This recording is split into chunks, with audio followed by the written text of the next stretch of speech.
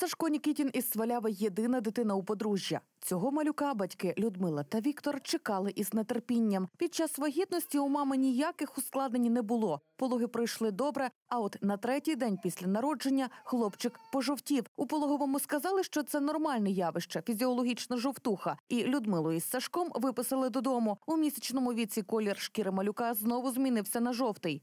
Біохімічні аналізи були дуже погані і ну, вирішили направити нас в Ахмадєт у Київ. Бо в Закарпатті, на жаль, ніхто не може допомогти з цим. Ми приїхали в Ахмадєт, нам поставили діагноз е, білярна атрезія жовчовідних шляхів. У дитини були відсутні зовнішні жовчні шляхи. Тобто жовч не могла взагалі відходити від печінки.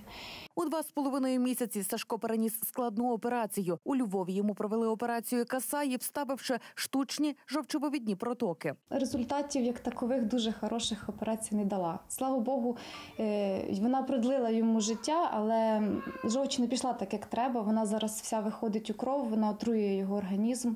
Тепер жовч потрапляє у кров Сашка, отруює організм і викликає страшенний свербіж, через що малюк не може спати вночі, постійно плаче, чухає тіло вдень і вночі. Та це не найгірше. Шанси на довготривале життя при діагнозі біліарна атрезія жовчововідних шляхів малі. Єдиний порятунок для малюка пересадка печінки. Мама без сумнівів вирішила, що буде донором. Зробити надскладну операцію погодилися у клініці Сент-Люк у Бельгії. Для цього батькам терміново потрібно зібрати 127 тисяч євро.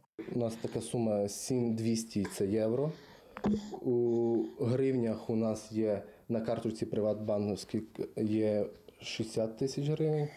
Ну і є такі люди, що до нас просто дзвонять друзі, знайомі, передають е, лічно передають, що ми потім на карточку поставимо, то у нас теж таких є 60 тисяч гривень.